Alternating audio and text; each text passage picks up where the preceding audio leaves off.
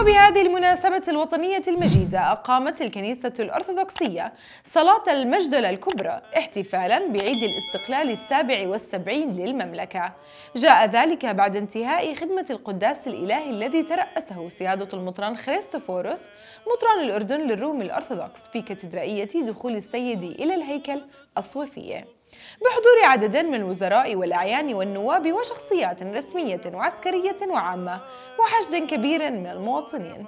ورفع سيادته الصلاة ابتهالا لله أن يحفظ الأردن وقيادته الهاشمية وحكومته الرشيدة وشعبه الأمين. شارك في الخدمة جمع من الآباء الكهنة والشمامسة وعدد كبير من أبناء الرعية.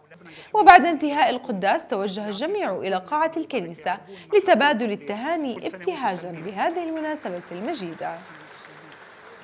إنه لفرح عظيم يعاد باجتماعنا اليوم هنا رافعين صلاتنا لأجل استقلال بلدنا العزيز السابع والسبعين مستذكرين مستذكرين إنجازات الأوائل من الهاشميين ومن الآباء والأجداد الذين أنشأوا دولتنا الأردنية قبل عشرة عقود ويزيد.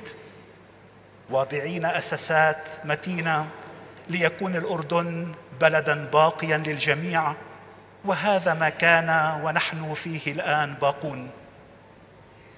أبنائي وبناتي الأعزاء علموا أولادكم وبناتكم.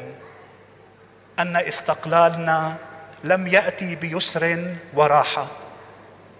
علموهم إن المحافظه عليه أصعب. علموهم إن روايتنا هنا في الأردن مختلفة. علموهم بأن جيشنا العربي هو من ساهم في بناء مؤسسات الدولة الأردنية وليست المؤسسات من بنت الجيش كما حدث ويحدث في دول عديدة.